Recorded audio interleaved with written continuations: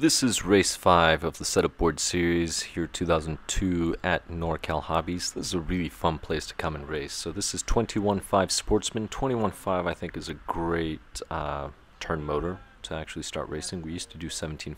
21.5 is fabulous to be honest. I am the sixth car uh, and I'm going to spoil it. I'm going to end up in four, fourth. Unfortunately, I'm not going to podium.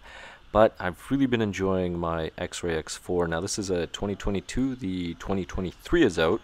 And there's a few upgrades. Well, the main upgrades that I'm interested in possibly doing to this car actually the, uh, the little arms uh, for the steering to turn because I don't actually like them. But in general, the car, it's an easy car to drive. It's easy to work on, it's easy to drive. Uh, I really do like the double wishbone uh, suspension on it. I am running the low friction belts, uh, which are great. One of the things to note about X-Ray though is it's expensive.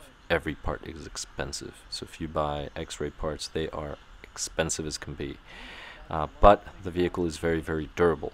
So if you're an individual, you think, oh, I really want to get into it. Uh, you know, I've budgeted this much, I've saved this much, but I just don't want a car that's going to break every other turn then X-Ray's good to go. Now, right there with the gentleman in the uh, blue and white car that's right behind me, I was having so much fun uh, just battling it out uh, with that car. I'm, I'm going to figure out what happened because all of a sudden I just lost sight of him.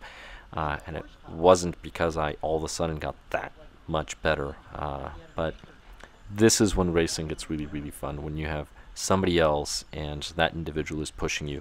To be honest, for some reason, I ended up getting nervous again. So I was actually a little bit shaky. You can tell sometimes on the turns I'll do really good turns and then not. Or if you look at that blue car, I'll pull ahead and then I won't. So there I crashed, got passed. Darn, what am I going to do? Whoops. Oh, thank you. Uh, it happens, right? Uh, sometimes you lose control and then uh, you had this amazing battle and there it goes. And because it's an actual race and you're not out there with let's just say a buddy you can't exactly say hey you know can you hold on? Uh, here let's start over which I wish we could.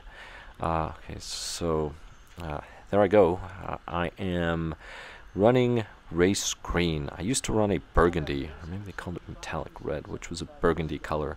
And I used to love that color but everybody was out of stock for the longest time and I just couldn't get paint. So saw some cans of uh, race green, which is a beautiful color in my opinion, and I ended up switching. So my on-road is all race green now, with still the same black front with the silver uh, stripes and the white meatballs with a number two now. So I actually have numbers now, uh, which is fabulous.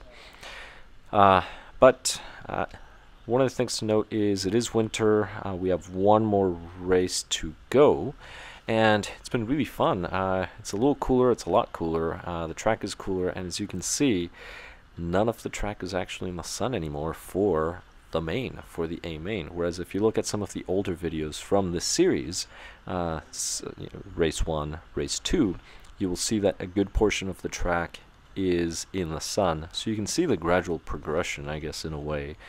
Uh, I guess that's what happens when you're this far north in the uh, northern hemisphere.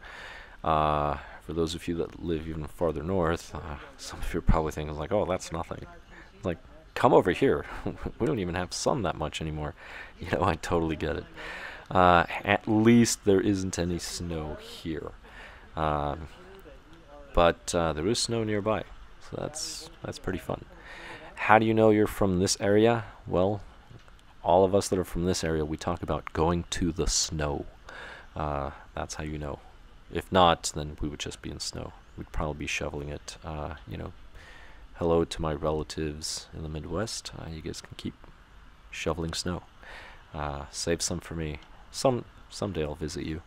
But uh, that being said, let's get back to the race. Uh, tires, team uh, team powers, those are the tires, so those are spec tires that we have to run. Uh, sportsman is sort of where it begins. I mean, rookie is where it begins, but after rookie, sportsman. So don't be afraid. Pick up an RC, uh, enter a rookie, but my recommendation would be look at what sportsman is running, which, like I mentioned, a lot of people are running the Mugens, the X-rays. I'm not sure if people are running Yokomos here.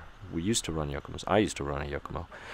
Uh, see what motors, what ESCs. Uh, I'm running just a Hobbywing, just stock ESC. That's all I run. Uh, I don't need anything else.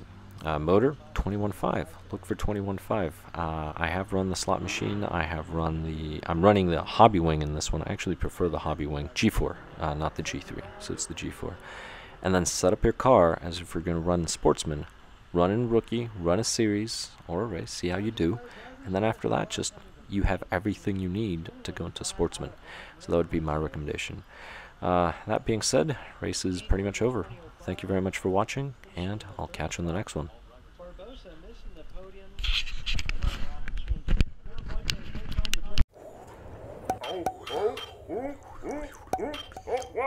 Oh, my, my!